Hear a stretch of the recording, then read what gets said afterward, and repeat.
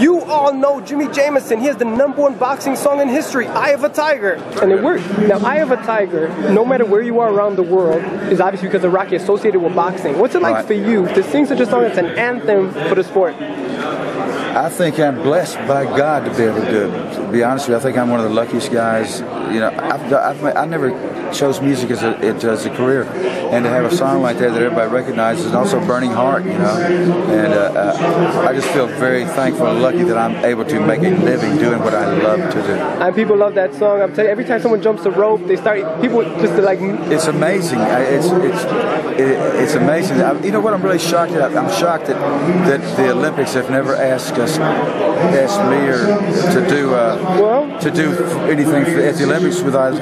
All the Olympic athletes almost work use that song to work out. A good friend of mine, Tony La Russa, the manager of the St. Louis Cardinals, plays it for his team every practice. that's amazing. That's really cool. Well, It is. you're making a difference in the lives of people. What's your message to Manny Pacquiao after his big victory over Shane Mosley? I'm so proud of Manny, man.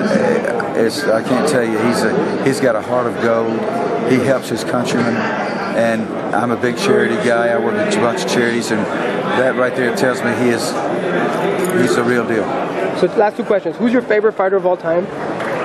Well, my favorite fighter of all time, of course, is, was Muhammad Ali. You know, you know, how can you go wrong? He, he made boxing what it is. You know. He tall, he had the game, he had Uh, Dude, the I'm skill. telling you, I hated him at first. Hated him at first because he had a loud mouth. But I learned to. I love him because he's Muhammad Ali. You know, and my last question: When you work out, do you listen to "Eye of a Tiger"?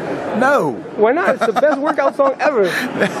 you know, no, I don't listen to either, man. I hear it. every- I hear it all the time. We play. I put the I put the uh, the exercise bike in front of the TV, you know, and watch the show. So there you have it, Jimi Jamison, the person who walked Manny Pacquiao into the ring as he fought Sugar Shane Mosley.